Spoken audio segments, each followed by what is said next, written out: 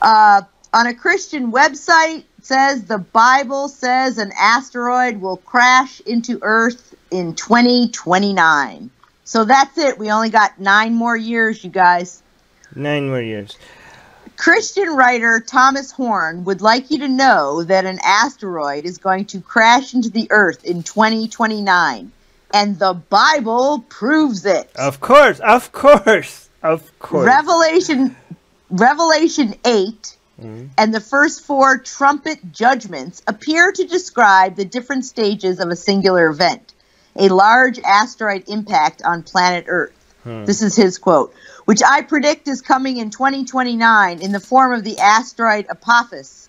I now believe, in fact, if you were to ask a scientist, as I did, Oh, wow. to explain why these verses seem to depict this, they would tell you that the details in Revelation 8 very much match the sequence of either a binary asteroid, which is two asteroids orbiting a common barycenter, the area of mass around which two or more bodies orbit, accompanied by smaller fragments, or the breakup of a larger asteroid into two main portions, accompanied by tons of small debris as it enters the Earth's atmosphere and is followed by impact.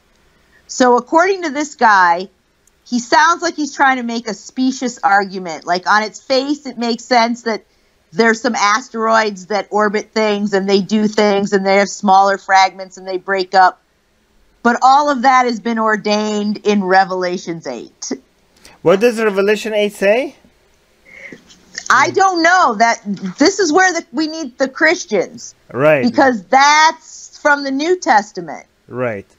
So yeah, That's I mean, that end time stuff. yeah, I've read the I, I read the book of Revelation. It's pretty, it's pretty dark.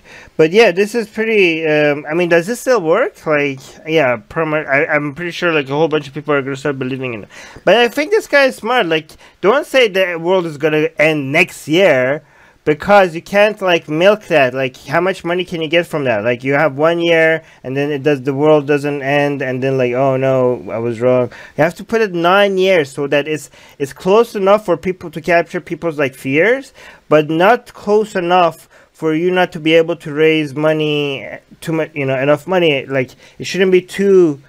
Close. But did he say that the world is gonna end because of this asteroid? According to him, it will um, crash into Earth in 2029. Imagine if I if somebody came and said like I predict that the Earth was gonna be hit by an asteroid according to the Quran or Bible or whatever. And like people are like, oh no, it's gonna be the end- end of the world, and he was like, no, no, it's not. It's gonna be fine. It's just gonna be. It's, It's just gonna hit. it's just gonna hit.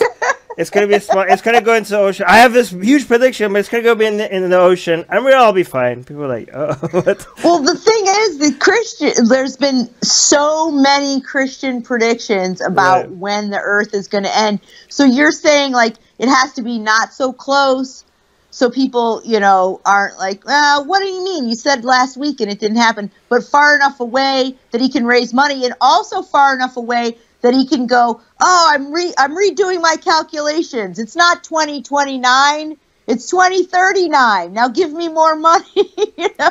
Right. So Chris is saying an asteroid crashing into the Earth doesn't mean the Earth would end. Depending on the size, it would either burn up in the atmosphere or break apart and cause some damage. Um, Vibrantly just tagged Atheist Republic, but there's no comment next to the tag. Um, Jade is the Maybe. Go Wait. ahead. Jade is saying the Bible doesn't say that there's a near Earth asteroid coming in 2029. So this guy basically took the prediction that the asteroid is coming and he just went worked backwards instead of saying like, I did like oh I see it in the Bible. So so Jade is saying there's an asteroid actually coming in 2029, but it's probably not going to hit and it was only discovered relatively recently. To date, there is nothing that we know of that will hit. Now that is only what can be seen. If it comes unexpectedly from the direction of the sun, well, we're effed. Oh, okay. So you might. So nothing that we see right now. So there is an asteroid coming that is going to pass Earth in 2029, uh, very close, but not going to hit it and nothing that we see is ever going to hit Earth. And they're saying that if it come, we might there might be some coming from the direction of the sun because apparently if it's coming from the direction of the sun, it's really hard to see. Oh, Vibrantly has a comment with a tag. Vibrantly is saying Revelation eight is a, new international version is saying the seventh seal and the golden censer eight. Oh, okay, that's verse 8. When he opened the seventh seal, there was silence in heaven for about half an hour. Yeah, that's definitely an asteroid. It couldn't be anything else. well, I was thinking if the asteroid hits, maybe it's Allah going to target it to a specific group in order to punish them for something. Yeah, Allah and Jesus. According to the biker. Right. Shilpam is saying, can Jesus appear before 2029 to his people like they have been predicting for centuries? Uh, oh, vibrantly continues the verse uh, saying, and I saw the seventh angel who stand before God, and seven trumpets were given to them. Yeah, definitely answering. Atheists are under attack in many places. If they were Christians, their voices would be heard. If they were Jews, their voices would be heard. If they were Muslims, their voices would be heard. But they are atheists, and not many seem to be listening. Let's make it difficult for them to ignore us.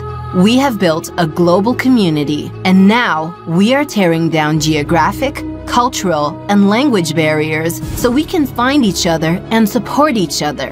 In the last decade, we have built the largest atheist community in the world. Now we're doing the same in other languages. With your help, we have started Atheist Republic in Persian and Arabic. انضميت مؤخرا لأسرة Atheist Republic وحيصير عندي بودكاست باللغة العربية. As we grow, we can dedicate more time, staff, and resources to start doing the same in Spanish, Portuguese, Malay, Bengali, Urdu, Hindi, and other languages. We are providing community, support, informative content, and amplifying the voices of those who need protection, especially in countries where people feel isolated simply for their lack of belief. We want to be there for them, and we are only getting started. Help us get there. Check in the description for ways you can support our projects.